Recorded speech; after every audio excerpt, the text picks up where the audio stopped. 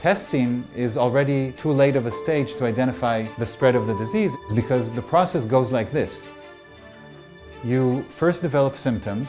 Some people would not call immediately for a coronavirus test and they would let these symptoms develop further. And during those days, if you're not isolated, you were wandering around and you were spreading the virus.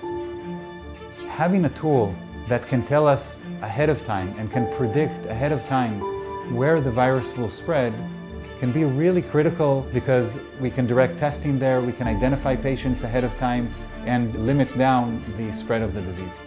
So there's a few tools and analyses uh, from the area of machine learning and artificial intelligence, which we are um, experts in, that we have applied in this case, and we're able uh, to provide these types of insights.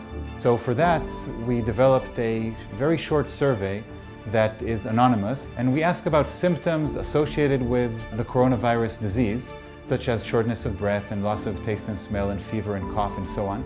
And we ask a few questions that help us to put these symptoms in context, like whether you're a smoker or not, because if you're a smoker, then we're less surprised that you cough. And from that, we are able to build a map of the entire state of Israel where we can see at the level of cities and even at the level of neighborhoods what fraction of people are currently experiencing symptoms related to coronavirus infection.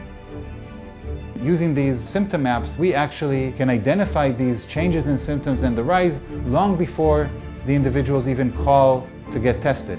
And, and, and, and that gives us a, um, several days at least in advance to identify the situation and to act upon it and uh, by that uh, limit down the spread of the disease. This tool has already proven itself in the ability to do that. And if the public continues to fill out these surveys, now that we exit and go back to our daily routine, by continuing to follow these symptoms, we can track what is going on and we can raise a flag if and when we see ahead of time that there is a rise. And that can be very critical because if we can identify that rise ahead of time, we will be able to take surgical, localized operations in those areas and in those areas perhaps do some lockdown but save the lockdown from the rest of the country. It can help us save lives, keep the economy open, and this, of course, all of this could be implemented in multiple countries. I think the first followers of our approach were the UK. The survey now is very strong in the US.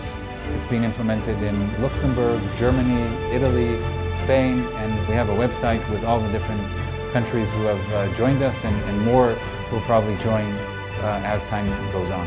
Then when the second wave will come, which most likely it will come at some degree, uh, we may be able to be ready for it with this type of tool that will help us to predict ahead of time regions of the spread of the virus.